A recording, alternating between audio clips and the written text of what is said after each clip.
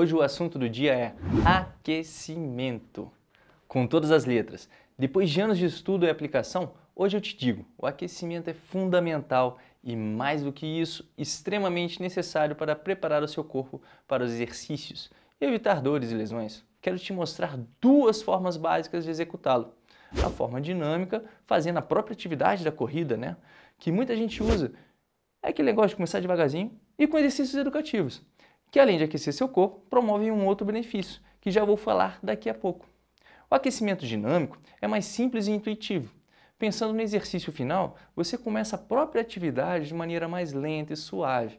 Aos poucos vai ganhando velocidade. Se a atividade final é a corrida, basta começar com uma caminhadinha, depois passar por um trote leve, aí vai progressivamente acelerando, aumentando a velocidade até chegar ao seu máximo, até você correr numa velocidade no qual você está exigindo bem do seu corpo.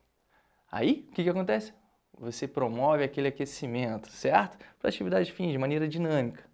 Você pode fazer isso de 10 em 10 metros, por exemplo. Caminha 10 metros, relaxa, trota 10 metros, relaxa, mais de 10 metros um pouco mais rápido e por aí vai. É só fazer isso até sentir o coração ele batendo lá em cima, beleza? Você já está sentindo você vê que a, a, velocidade do fluxo de oxigênio, da sua respiração, o seu batimento sobe, você já está mais desperto. Dá para fazer esse aquecimento dinâmico de duas formas: antes da atividade ou até mesmo durante ela.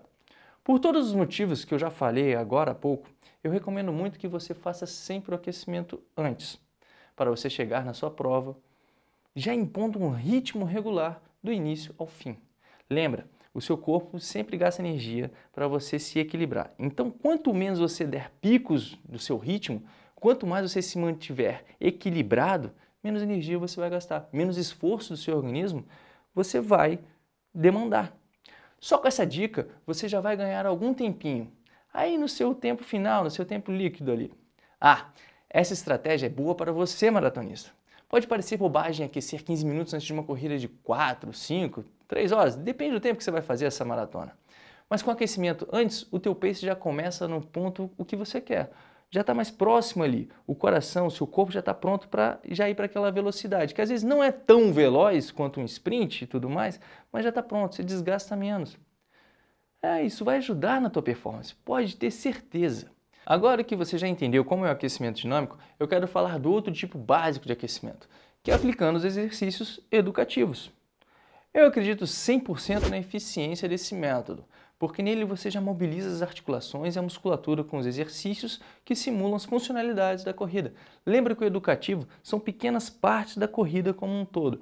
Então você está dividindo ali o que você vai fazer na corrida e de forma consciente você já vai pensando em como aplicar esse movimento e você vai mobilizando suas articulações e os seus músculos. Em outras palavras, você não apenas aquece, mas sim ativa e solta exatamente as partes do corpo mais exigidas na corrida. Vale muito a pena. Uma boa maneira de fazer isso é pegar um trecho reto de mais ou menos uns 40 ou 50 metros. Assim você faz um educativo durante 20 metros, depois solta num trote leve, numa progressão de velocidade por outros 20 metros. Volta andando, porque o educativo ele tem que fazer de uma maneira tranquila, relaxada, para que você tenha controle dos seus movimentos. Então, você baixa novamente aquela frequência, você está descansado e executa novamente esse, esse exercício. Faz 20 metros, depois solta no trote acelerando dentro desses 20 metros. Faz uma aceleração de 20 metros, beleza? E assim é só repetir essa sequência, variando os educativos e aumentando o ritmo até sentir o seu batimento cardíaco acelerar, ok? Usando essa estratégia, além de aquecer e subir a frequência cardíaca, você tem a oportunidade de analisar e corrigir o seu movimento, pensando, por exemplo, na sua pisada, no quadril, no movimento dos braços. Coisas importantes para você ganhar performance sem lesionar, sem você se atrapalhar durante a corrida. Sabe como isso se chama? Consciência corporal sobre o movimento.